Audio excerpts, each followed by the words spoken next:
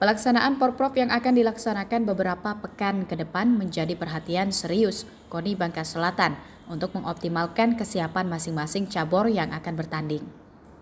Ketua KONI Bangka Selatan Akbar Al-Fajri mengatakan, saat ini KONI Bangka Selatan sedang fokus untuk persiapan menghadapi pelaksanaan Porprov yang sudah menghitung hari.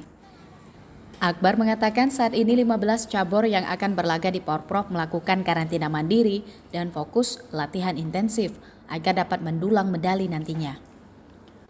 Untuk memantau karantina mandiri ini, KONI Bangka Selatan selalu melakukan pengawasan dengan membentuk tim bersama demi prestasi atau bedepes sebagai tim evaluator perkembangan para atlet.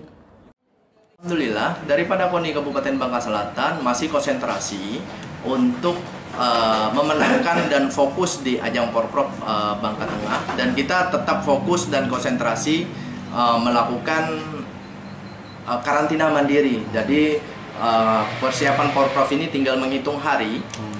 Jadi uh, dari KONI Kabupaten Bangka Selatan selalu melakukan pengawasan terhadap cabur-cabur uh, yang mengikuti Porprov dengan cara mengikuti uh, karantina mandiri yang sekarang sedang dilaksanakan di KONI Kabupaten Bangka Selain itu, Akbar berpesan agar para atlet memberikan hasil yang optimal dan menjunjung sportivitas, serta mengharumkan Bangka Selatan dengan prestasi.